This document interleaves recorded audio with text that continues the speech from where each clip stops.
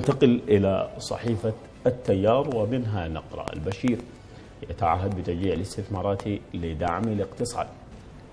في تفاصيل هذا الخبر تعهد رئيس الجمهورية المشير عمر البشير بتشجيع الحكومة للاستثمارات الوطنية والأجنبية لزيادة الإنتاج.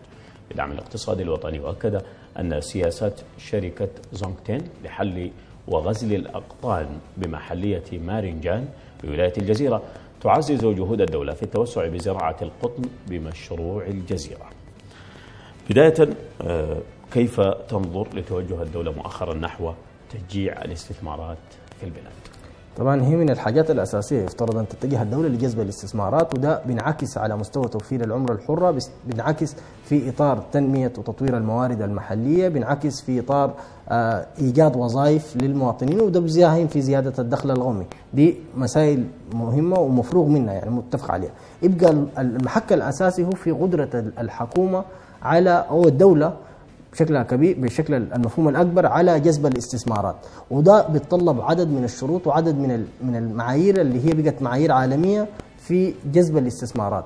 واعتقد ال- السودان لديه الكثير من الصعوبات والمشكلات التي تتعلق بجذب الاستثمارات والعديد من حتى من المسؤولين يعترفوا بأن هناك الكثير من المشكلات التي تتعلق بجذب الاستثمارات وده ظاهر حتى في ظل الأوضاع الاقتصادية الحالية بتكون من الصعوبة بمكان أنه تقنع شركات بأنها تيجي تستثمر خاصة في ظل التضارب في سعر الصرف. كثير من التعقيدات متعلقة بقوانين الاستثمار المتعلقه بالتضارب في الاختصاصات بين السلطات المحلية والسلطات الولاية. إضافة إلى الأوضاع السياسية والأمنية اللي موجودة في البلد ممكن تساهم في تنفير الاستثمارات الموجودة ناهيك عن جذب استثمارات جديدة هل الرهن السياسي والرهن الاقتصادي آن مشجع للاستثمار؟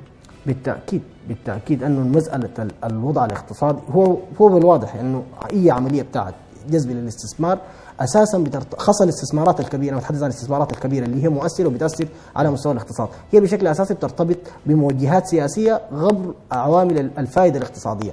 وده بيظهر في شكل الاستثمارات الخليجية بيظهر حتى في شكل الاستثمارات ممكن نقول الصينية نفسها بيظهر في شكل الاستثمارات التركية. الموجهات السياسية بتساهم في تعز... وده الاستثمارات الغربية. وده بيكشف ليه الاستثمارات الغربية ما جات اتدفقت على السودان أو حتى الأمريكية بشكل خاص بعد رفع العقوبات اي عملية بتاعت استثمارات الاستثمارات خاصة في الشركات الكبرى بترتبط بموجهات سياسية وده بيتطلب انه الدولة يكون لديها علاقات سياسية خارجية جيدة. للأسف للوقت الحالي أن العلاقات السياسية الخارجية تواجه الكثير من الصعوبات وده انعكس في عدم وجود استثمارات. حتى الاستثمارات المصدقة في معظم الدول بقى في عدم تنفيذ من جانبهم أو تباطؤ في تنفيذها، يعني على سبيل المثال الاستثمارات الصينية المصدقه عليها في السودان نحو 68 مليار دولار، الاستثمارات الحالية هي 13 مليار دولار، بالنسبة لدولة زي الصين حليفة ويفترض أنه شريك استراتيجي بتبقى في مشكلة. لكن لأنه في صعوبات كثيرة بتتعلق بالأوضاع الاقتصادية، المساله تحت الديون تحت السودان، تباطؤ السودان في جدوله الديون، دي مساله مهمة وزي ما اشرت لك بتأثر في جذب استثمارات وحتى الاستثمارات الموجودة بتنفرها. المساله المهمة أنه اي استثمار عشان يدخل البلد عنده أربع نقاط أساسية بركز عليها.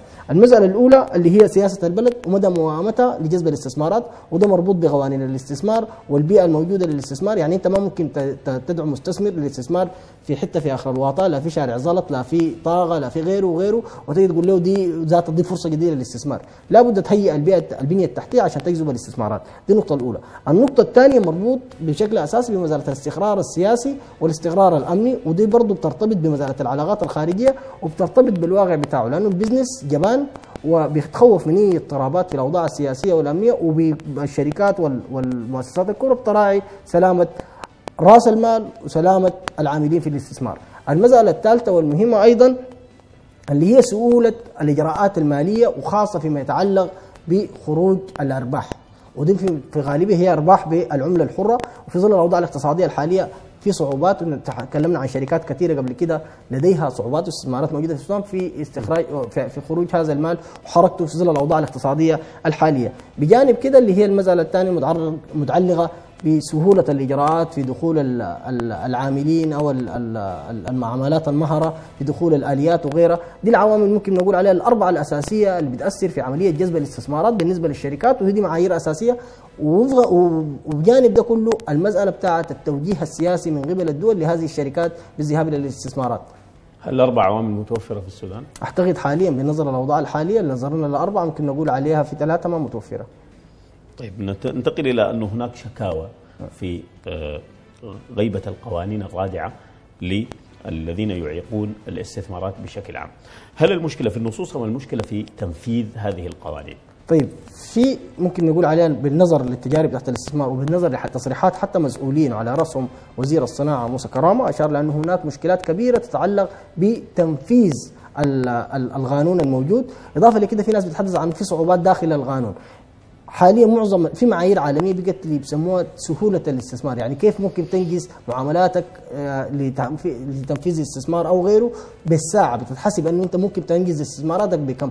القصة بتاعت الجرجرة بتاعت أمشي وتعال ويجيك بعد شوية زول يقول لك حقي كم دي كلها الأنواع بتاعت الفساد دي دي تعتبر فساد إداري أو فساد مالي دي لابد أن تكون هناك عقوبات راجعة جدا لحسمها لأنها بتساهم في تنفير المستثمرين.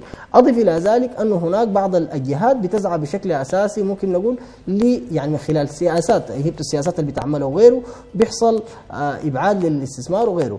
وفي في بعض الأحوال بنلقى أنه في آه تنافر بين السلطة المركزية والسلطة الولاية في إدارة العمليات الاستثمارية. هذه التنافر بين آه، سلطة الولاية بشكل عام وبين المركز والولايات بشكل عام. هناك تضارب كثير حتى على مستوى آه، مستوى الأراضي وما يتعلق بها. فهل هذه هي تشكل سبب رئيسي في إعاقة وجود الاستثمارات حصلت وهناك العديد من الشواهد اللي بتأكد كده. زي مثلا حصل في ولاية نهر النيل وده برضه بيقول لي المساله بتاعت نسب الولايات. النسب تتخذ مركزيا ولا ولايا؟ عادة التجارب العالمية بتسبب لأنه الاستثمار كله يتم إنجازه من خلال نافذة واحدة. وفي عديد من الدول زي دبي وغيرها بقت ترفع الشعار بتاع إنه يعني سهولة إنجاز الاستثمار في مكان واحد. وحتى بعض الناس ذهبت ابعد من كده في الدول الموجودة انه تنجز المعاملات معظمها بالإلكترونية من خلال موبايلك. أنت تنجز كل الإجراءات ويتم تنسيلها وكده. لكن للأسف في السودان ما زلنا نواجه العديد من الصعوبات والتعقيدات المربوطة بتعقيدات بيروقراطية متعلقة بالتنسيق بين الحكم المركزي والولايات في هذا المجال. أعتقد إنه ممكن يعني هناك العديد من التجارب يمكن الاستفادة منها في مجال إنفاذ الاستثمارات وسهولة آه، الأداء ومساعدة رجال الأعمال في آه، إنجاز معاملاتهم بشكل ميسر وسريع. واستفاده من التكنولوجيا المتاحة. هناك أصوات تنادي بان الحكومة. آه، لا تلزم الشركات المستثمرة في البلاد بمسؤولية مجتمعية تقوم بها أو أدوار مجتمعية على مستوى الأدوار المنوطة بالشركات المستثمرة. طيب حسب القوانين التجارية والاستثمارية العالمية انه اي استثمار يفترض خاصة فيما يتعلق بالوظائف اللي هي ما بتحتاج لمهارات أو غيره هي الاعتماد على السوق المحلي. أضف إلى ذلك بيكون هناك ما يتعلق بالمسؤولية الاجتماعية لهذه الشركات تجاه المجتمعات المحلية. إضافة للرسوم المتعلقة للولايات وغيره.